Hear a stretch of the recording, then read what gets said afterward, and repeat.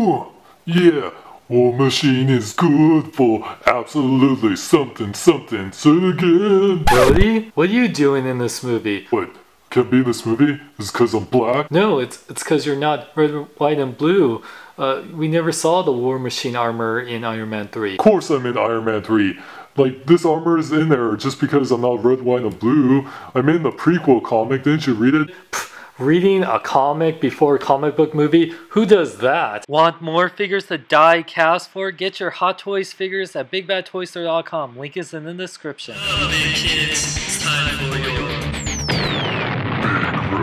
What up, big kids? Here's your big review of the Iron Man 3 Hot Toys War Machine Mark II diecast movie masterpiece 1/6 scale collectible figure. So here we got the unique packaging. This is kind of a mixture of the 1/4 scale slash 1/6 scale packaging uh, because this is a die-cast figure, it's a lot heavier. It has this plastic uh, thing to cover it, I don't know, but it gives this kind of like 3D thing, like with the outline. It's kind of like an artist like drew this over, like, it's really cool. I know, it's like, it's really cool. It has the Sideshow exclusive sticker since it's the Sideshow exclusive. It says the MMS198D03, I'm guessing that's for die-cast, even though this is the first one released, this is the third die-cast figure. I think the Mark 42 and Iron Patriot is supposed to come out first. It says War Machine Mark II 1/6 scale collectible figure Diecast! Uh, movie masterpiece, Hot Toys. One side of the box is gray, says War Machine Mark II on it. The other side continues that same picture, also says War Machine Mark II. Top of the box has the War Machine Mark II. Back here has all the credits and cast and crew of all the people who made this awesome figure.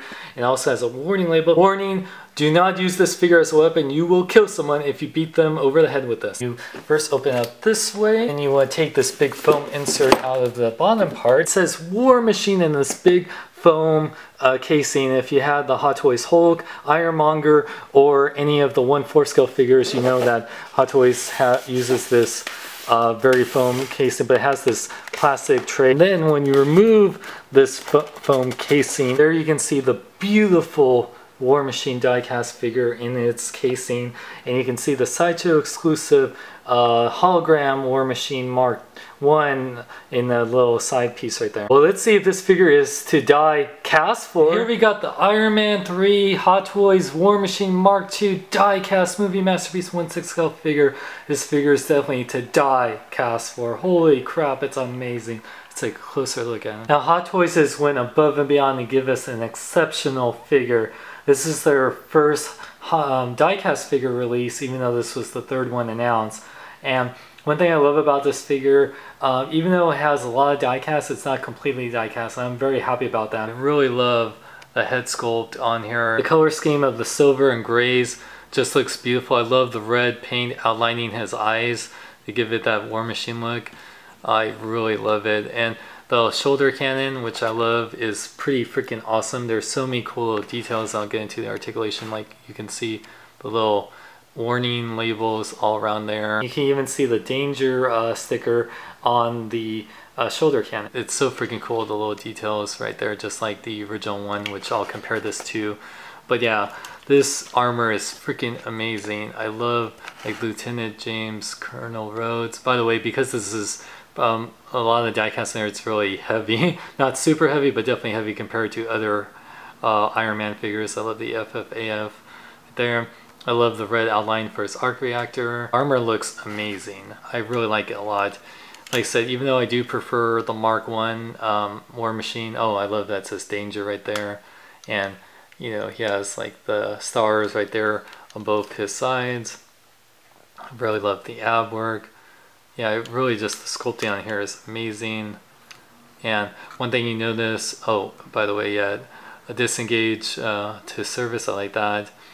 Um, one thing that's cool, and I'll show you when the lineup effects, you don't see really anywhere the batteries, except for the back of the arms. This you can see where the batteries there, but mostly they cover up. Oh, you have ammo right there on the sides. Also, you can see the star on his uh, left forearm. Exceptional, like just the paint and like I said I'll point out what's die cast here in a moment but yeah like the feed right here at least the good thing since it's not completely die cast I can actually you know show the, this figure off without like it being super heavy on me. Thanks to uh, blogger OMG, uh, we know how much die cast and which parts are die cast. In the front, it's Uh, no, no die cast on the head, but I don't mind at all. It's mostly the chest part right here, uh, the bottom part of the shoulder uh, pads, um, uh, the, the, top part of his abs, um, his metal joints in his elbows, and the, a lot of die cast right here in his ankles and metal um, ankle joints. Top part of his back is die cast, the middle part of the back, the back of his abs, the back of his thighs, and the back of his ankles. Side by side, the War Machine Mark II versus the War Machine Mark I. Uh, Mark II is a little bit slimmer, doesn't have as many like shoulder cannons or like the minigun slash uh, missile pod. Uh, it's definitely a lot slimmer and has more silver. Now for articulation, this guy is really nicely articulated, especially more than the original War Machine. Now his head can go up almost like in flight pose, not as much as say the Mark 7. Can look down really good. It can um, fully, well, it, you have to be careful with the shoulder can, but it can fully rotate and look up and has a nice head pivot right there. Now, um, let's do the shoulder cam first before we do the arms. The shoulder cam is super articulated, and you can put it in five points. So see in the back here, you have one, two, three, four, five points you can put it back here. It doesn't slide. It looks like it can, but it doesn't. But you can put it back here or in the middle. So you can put it left or right, whichever you desire. And this shoulder cannon itself can rotate at this point right here. It also um, rotates at this joint right there. And then this joint right here can um, pivot forward and back and this can also uh, move left and right. And then at this point right here it um, also uh, can fully rotate. So it rotates and pivots at many different points. Now the shoulder pad move them up and and everything um, it's on kind of like a, that ball joint thing. Now the arms when it's not um, moved up here oops sorry um, it can go in and out that much but here's the thing, uh, it says in instructions if you actually move it down this much, you can uh, move it up higher and you can actually rotate the arm 360. So you have to move it down and Hot Toys made a video showing this where you move it down first before you rotate it. And it can also rotate the bicep. And now what's cool at the, uh, first time in an Iron Man figure, double joint elbows almost pretty much, you have to pull it down here. Then you can bend it at two points so it's more more than like a 110 degree angle. So it's not fully but because you know it's armor it's not it's going to be a little bit bulkier but of course he has wrist articulation fully rotates goes in and out. He has the finger articulation that we love with three points of finger articulation and two points uh, with the thumb. So you can make a fist or give him the bird or you know make a repulsor blast so I love that. His new ab crunch articulation it goes forward and back that much, and that's just on this joint right here, and can go, you know, pivot forward and back. Now you can actually lift it up where you can actually make him go back even more. It has like one, two, three points of ab articulation. It goes forward and uh, pivot side to side, and you can almost like rotate this. I would be careful not to scratch it, but you can almost rotate it. And it has kind of like a waist joint right here. Thigh flaps that lift up at two points of articulation right here, and you have this flap that lifts up here. So now, instead of the leg only going up this high like usual, you can actually, uh, and it goes back that much, you can actually pull it out a little bit, and now you can have the leg joint go up even higher, so you just have to kind of pull it a little bit be careful and you can actually make it go up where he's like lying down or sitting whatever. And you can make it almost like where he's yeah like he's doing the splits. Oop, and it goes right back on there right? You can see. It rotates the upper part of the leg. He bends at two points at the knee. A nice metal knee joint. And what's great here the ankles are on the metal joint so you can pull them down where you can have a nicely pivot back. Oh yeah, and the, uh, this back flap pivots forward and these uh, front flaps uh, are on little ball joints here. You can pivot it forward and he has the toe articulation. Now one thing that's different from any Iron Man figure I've gotten before, um, the batteries were separate. I don't know if they did that just because it's diecast, they worried about leakage and stuff. So depending on how, when you decide to open this figure and put the batteries in, all the batteries come separate where you have to install them, but you get this nice little screwdriver where um, it even says Hot Toys right here, works really well. And you put in the three batteries and the back of the arms right here, um, the head, which I'll show right here. And what Hot Toys decided to do, instead of making the light up uh, part, like with the faceplate, I guess because it's different, instead of making a removable faceplate or in the neck joint like they used to do, they made this top part right here where you actually remove it like that.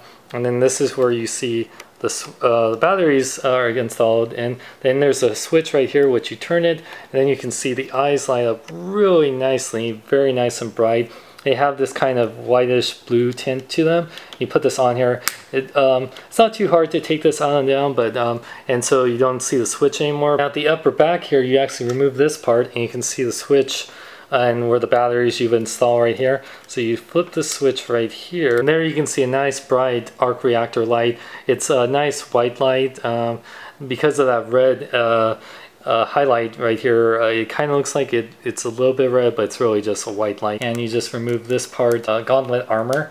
So you, this comes off right here and you can see a switch right here, which you turn on and you can see a nice like kind of whitish blue light. The left arm, it's a little different. You actually remove the top of the wrist armor. You see the light right here, which um, you know works really well. And one thing that the reason they did that, because he actually comes with interchangeable uh, wrist rocket armor that we saw him use in the movie, at least as Iron Patriot.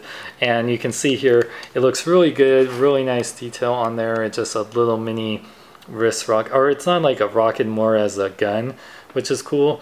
But um, yeah, one thing I wish uh, it did have one for the right uh, arm too, it's only for the left. Now War Machine doesn't come with that many accessories, he does come with a detailed instruction manual on how to put in the batteries, how to do the articulation. Besides that screwdriver and interchangeable wrist rocket for his left arm, uh, he comes with uh, five other hands, uh, a set of repulsor blast hands, which are nicely detailed, a set of fist hands, uh, which are also very nice. And he has one hand that's meant to salute. This makes more sense for Iron Patriot, but I'm guessing because this is repaint, they had it here for him anyway. And he also comes with that little piece that is used to like remove little pieces. And War Machine comes with this really nice display base. It says Iron Man 3 War Machine, Marvel on there. It emulates the Hall of Armor bottom pieces, uh, which are very nice. I really like that silver paint that they use. They also use this really strong um, metal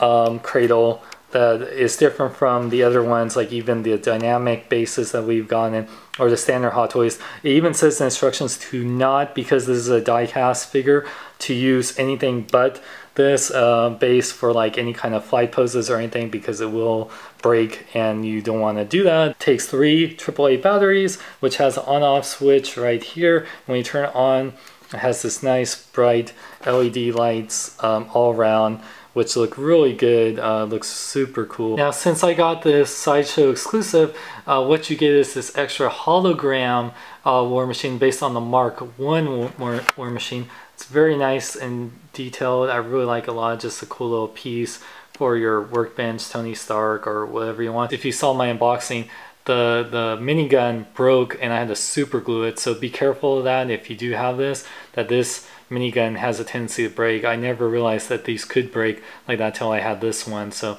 careful that, but if you're able to get this, this is a cool little extra you can get only from Sideshow Collectibles. Hey Mandarin. Yes, old chap. How does War Machine celebrate Black History Month? With a six pack? With a bang! Oh bloody hell! I bet he never saw that coming. Size comparison time. So here you can see that the Mark II War Machine is in great scale with other Hot Toys figures. It's definitely taller than the normal Hot Toys figure like the Mechanic Tony Stark and you can see that compared to the Mark 1 War Machine, this is an amazing figure. I know that War Machine, or this version of War Machine, wasn't in the movie, but for the people that missed out on the first War Machine figure, or even the Milk War Machine, people will be really happy not only that they'll get an amazing looking War Machine figure, but a, a really adult collectible figure with the die cast really adds a lot. It really not only literally weight to the figure, but really makes it feel like an amazing piece. The articulation is even more improved since the first War Machine figure and the light effects worked really good. I do wish that they were a little easier to get to, but I know that Hot Toys was trying to do that to make it hot to hide the switches, so I understand that. The Sideshow exclusive I got for $284.99, which it's sold out or you have to get on the wait list. Link is in the description to get on the wait list. It is available at Big Bad Toy Store right now uh, for the regular version. I know that could be a little pricey, but for what you're getting in terms of quality with the die cast and all the um, light up effects and the amazing articulation, I think it's well worth it. I like the fact that it's actually not completely die cast because this would be a way more expensive, way more heavier figure and the mixture of plastic and die cast really is absolutely exceptional. I highly recommend. Like I said, you can get this right now Big Bad Toy Store or you can get on the waitlist for the exclusive at SideshowCollectibles.com. You can also win a Iron Man 3 Hot Toys The Mandarin figure right now from Sideshow Collectibles and myself. Link in the description and enter. And check out uh, more at my website at seanxlong.com and at hugenerd.net. I'm Sean Long saying live long and love life. Check out Sean Long. Jason David Frank, Tommy the Green Ranger. Hey Tony, I stopped the Mandarin. You did? How'd you get him? With your shoulder cannon? Nope, I just sat on him. Oh, bloody hell. I can't breathe. Whoa, that's heavy, Doc. By the way, old chap, can you do me a favor and hand me another beer and move your ass just a little to the right so I can watch the game? Ole, ole, ole, ole.